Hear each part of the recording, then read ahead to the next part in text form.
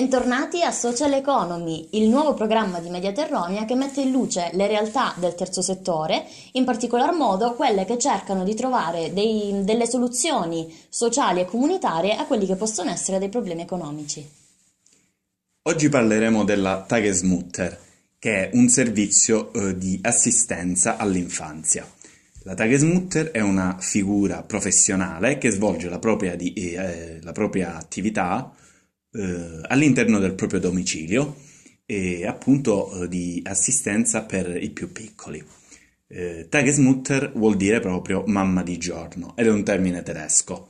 Eh, il fatto che sia un termine tedesco mh, mm, ci rimanda alla, alla questione che eh, si tratta di una figura nata eh, nel nord Europa negli anni 60 e, che poi si è diffusa nei decenni successivi eh, in altre zone eh, dell'Europa eh, e in Italia successivamente.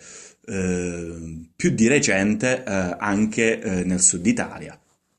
Infatti nella città di Cosenza è nata da qualche anno l'associazione Tagesmutter, i nidi delle mamme, e a tal proposito abbiamo incontrato la presidente nonché la coordinatrice pedagogica Margherita Fortebraccio e insieme a lei andremo a capire meglio la natura e lo scopo di questa associazione. Vediamo l'intervista. Siamo con Margherita Fortebraccio, presidente dell'associazione Taigesmutter Nidi delle Mamme e anche coordinatrice pedagogica. Salve. Salve. Allora, chi è la Taigesmutter e cosa fa? Allora, la Tagesmutter è una donna che apre le porte della sua casa e accoglie un massimo di 5 bambini dai 3 mesi ai 3 anni. Le attività quindi si svolgono in un contesto domiciliare. È una donna formata, noi ci, lo, ci teniamo a dirlo perché frequenta un corso di formazione iniziale, quindi una formazione iniziale di 400 ore dove eh, acquisisce delle strategie educative e eh, la sua formazione non finisce col corso ma continua eh, con una formazione permanente fatta da diversi esperti tra cui soprattutto la pedagogista e la psicologa.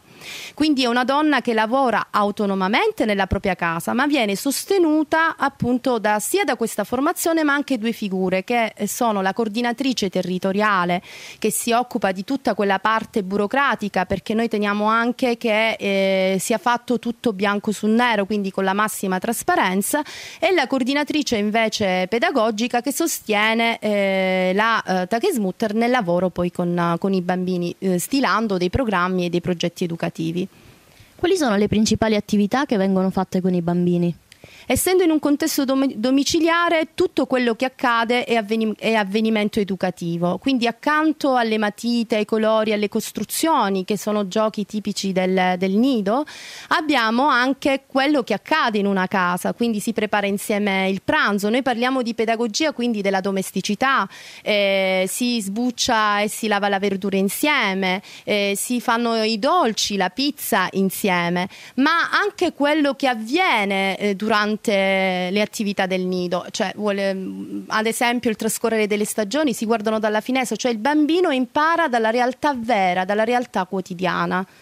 Quella della Tagesmutter è una figura professionale vera e propria, una figura che ha uh, svolto un, una sua formazione professionale e che eh, nel, nella propria attività eh, si occupa non solo di una semplice osservazione, eh, o custodia eh, del bambino, eh, né di un semplice intrattenimento, diciamo, eh, ma si tratta di, ehm, diciamo, di una serie di, è coinvolta con il bambino in una serie di attività ben organizzate e studiate. Ma infatti sembra anche fondamentale l'ambiente nel quale vengono svolte queste attività, che come abbiamo detto è una casa vera e propria. Ma eh, cerchiamo di capire l'importanza eh, dell'ambiente e l'importanza di svolgere queste attività all'interno di un ambiente appunto casalingo, sempre attraverso le parole della nostra Margherita. Eh, proprio a proposito del nido e della casa, quanto è importante l'ambiente familiare e casalingo per un bambino? L'ambiente familiare è molto importante perché il bambino vive il distacco meno, eh, dra- cioè è, è, meno drammatico rispetto no, eh, al distacco che può avvenire da una casa a una struttura, perché il contesto è un contesto appunto simile alla propria casa. Eh, gli oggetti, i profumi, gli odori ricordano un po' la casa propria eh, e quindi questo permette al bambino di raggiungere delle conquiste eh, con, con, molta più eh, sicurezza. Eh, partiamo anche dal fatto che noi ci rifacciamo un po' alla psicologa appunto Nelson che riteneva che il contesto della casa, cioè il contesto fisico, è un contesto forte educativo, perché il bambino appunto attraverso poi la, l'attenzione di un adulto che si prende cura di lui e che ha portata di udito e di sguardo, eh, dà la possibilità appunto al bambino di poter imparare di raggiungere delle conquiste, anche perché per noi il, il principio fondamentale è che il bambino possa conoscere se stesso e l'ambiente attraverso un'autonomia, perché sarebbe semplice organizzare tutto prima, eh, fare che ne so, prima la pasta o prima la tagesmutter, prima che arrivi i bambini, prepara tutto e poi si dedichi completamente a loro. Invece eh, il fatto di fare insieme eh, fa sì che il bambino si senta eh, stimato dalla tagesmutter perché è come se lui partecipasse all'andamento positivo del nido, cioè al fatto che le attività vengono fatte assieme, quindi si cucina assieme, si prepara il pranzo insieme eh, e questo accresce l'autostima nei, nei bambini. Sembra che il servizio eh, reso dalla figura della Tagesmutter sia diverso rispetto a quelli che si conoscono solitamente eh, per quanto riguarda l'assistenza all'infanzia.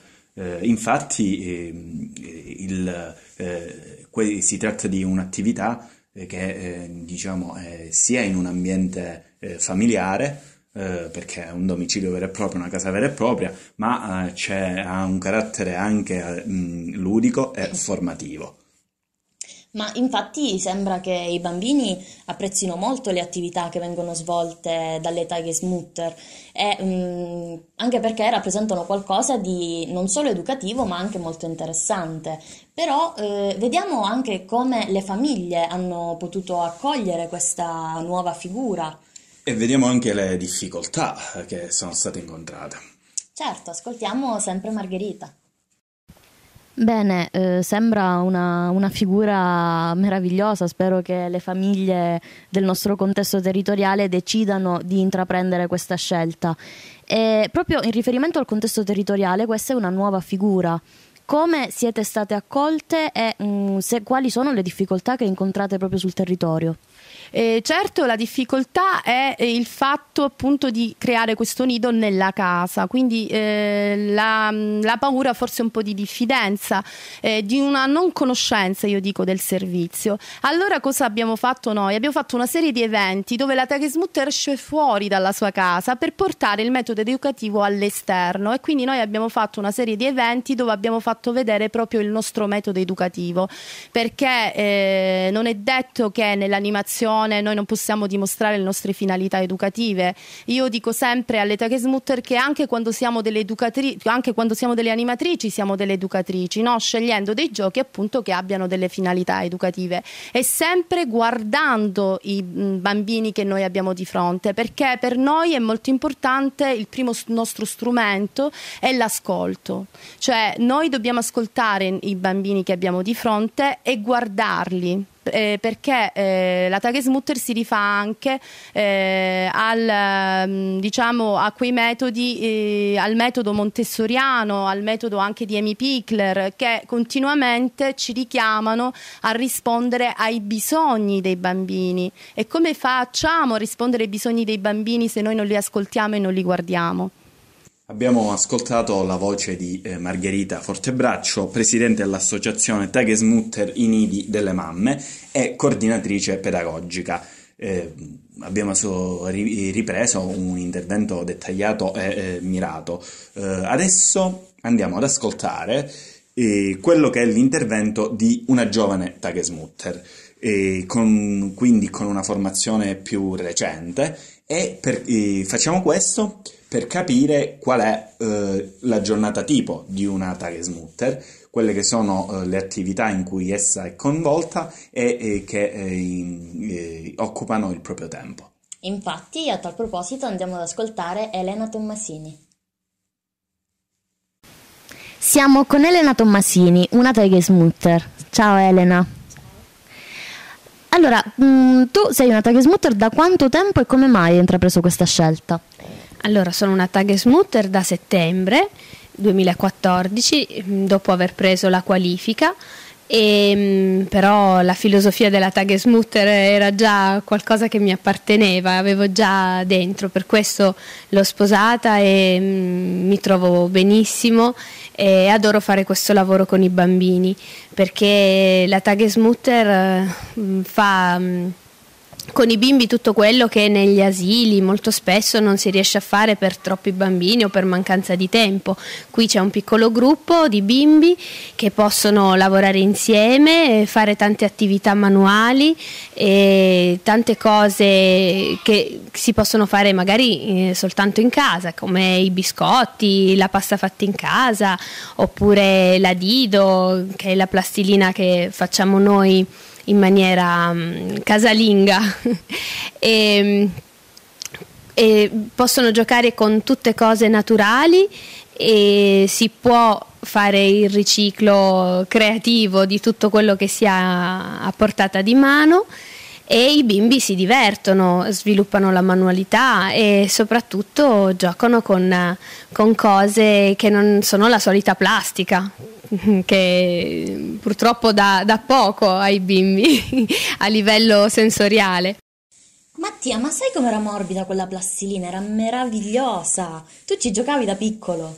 Sì, mi ricordo dei ricordi chiari di, di quella plastilina, ma eh, sapere che mh, si poteva mangiare mi fa pensare che forse ne avrei mangiato a chili se l'avessi saputo. Eh, ma attenzione, quella di Elena è fatta in casa non tutte erano così e già da queste piccole cose si capisce quanta cura queste Tagesmutter mettono eh, nel tenere, accudire ed educare i bambini, preparano tutto in casa ed Elena anche per noi ha preparato delle cose meravigliose. Qual è la giornata tipo di una Tagesmutter? Quali sono le principali attività che tu preferisci fare con i bambini? Cominciamo con l'accoglienza, il bimbo viene accolto bene o male sempre nella stessa maniera, trova lo stesso ambiente, trova sempre me che sono la sua persona di riferimento e poi cominciamo intanto con giochi liberi per eh, eh rientrare nel, nella routine e poi facciamo un'attività al giorno che io predispongo prima eh, facendogli trovare già il materiale pronto per iniziare, in modo che non perdiamo tempo e il bimbo non si annoia con i preparativi. E, mh, mm, le attività, bene o male, sono eh, quelle de- della manipolazione.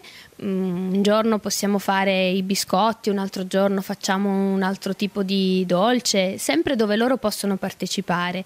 Che ne so, mettono la farina, rompono le uova, impastano con le mani e, e poi, ad esempio, nei biscotti o con la Dido eh, giocano con le formine, creano loro delle forme e quindi mm, sviluppano sempre la manipolazione, anche la manipolazione fine. Le, fine intendiamo le, le, piccole cose, le piccole parti, mm, dove il bimbo ha necessità di usare le manine, le, le dita eh, nei, nei minimi particolari e poi mh, facciamo tante altre cose, possiamo anche portarli fuori, andare a raccogliere le foglie in autunno e poi con quelle foglie creare degli animaletti, e, mh, le facciamo attaccare, dipingiamo tantissimo, con i colori fanno di tutto, colori, gli acquarelli oppure le tempere o tutto, tutto quello che riguarda la pittura. E, mh, e loro si divertono a fare le impronte con le manine e con quelle impronte creiamo degli animaletti e, e così via, insomma, di, di, attività ce ne sono tantissime. Persino la, la semplice attività di eh, mettere una piantina nel vaso eh, noi la trasformiamo in un'attività che dura un'oretta perché andiamo fuori, raccogliamo la terra, torniamo qui, la mettiamo nel vaso, trapiantiamo la piantina e poi quella piantina loro la vedono crescere, la innaffiano quando c'è necessità dell'acqua e così via. Trasformiamo tutto in attività mm, giocando. Sicuramente de- delle attività molto educative. Prima accennavi al fatto che molte cose vengono fatte in casa, tra cui eh, la Dido, che è quella che ho qui in mano. Eh, vorresti dirci nello specifico, eh, se ricordi per quanto riesci, come viene fatta questa? La prendiamo come esempio al momento. Certo, semplicemente con farina, olio, sale, e cremor tartaro e coloranti alimentari per dare un aspetto più invitante alla, alla pasta modellabile. È semplicissima, si mette sul fuoco, si, si fa rapprendere e poi è pronta per, per il gioco. Quindi i bambini si trovano sicuramente in un ambiente familiare, sicuro, educativo e, e, poi non c'è pericolo che se dovessero ingerire qualcosa del genere, insomma, stanno, stanno bene, cioè non hanno nessun tipo di problema. Non c'è niente di chimico, è tutto naturale, è anche commestibile, certo, non, non, non gliela facciamo mangiare, però se dovesse succedere non è un problema. Grazie Elena, in bocca al lupo per la tua attività con eh, i tuoi bimbi e ridiamo la linea allo studio. È chiaro che eh, la figura della Tagesmutter, da quello che abbiamo capito, è una figura professionale vera e propria, eh, qualificata, eh, anche da questi piccoli dettagli, per esempio, capiamo che diciamo, c'è uno studio, eh, insomma, una figura che sa come impiegare le ore eh, delle proprie ehm, attività. Eh, ma eh, c'è da domandarsi a questo punto eh, come si diventa Tagesmutter e ehm, cosa bisogna fare, eh, a chi rivolgersi a Cosenza. E ce lo dice la nostra Margherita come si può diventare Tagesmutter. Come si fa per diventare una Tagesmutter? Dove bisogna rivolgersi e cosa bisogna fare? Allora, per diventare una Tagesmutter bisogna rivolgersi in questo momento la cooperativa OPLA eh, fa un corso che viene promosso dalla provincia di 400 ore, quindi eh, il consiglio che io do è di andare in cooperativa e prendere tutte le informazioni possibili riguardo appunto al corso. Eh, ringrazio Margherita Fortebraccio per la sua disponibilità e ridiamo la linea allo studio. Sappiamo adesso che esiste una nuova figura professionale nel nostro territorio, quindi anche un nuovo servizio e eh, lo abbiamo capito dalle interviste che abbiamo ascoltato. E, quindi eh, sappiamo che eh, esiste questa figura, quelle che sono le sue caratteristiche e i suoi aspetti principali. Bene, ci fa piacere.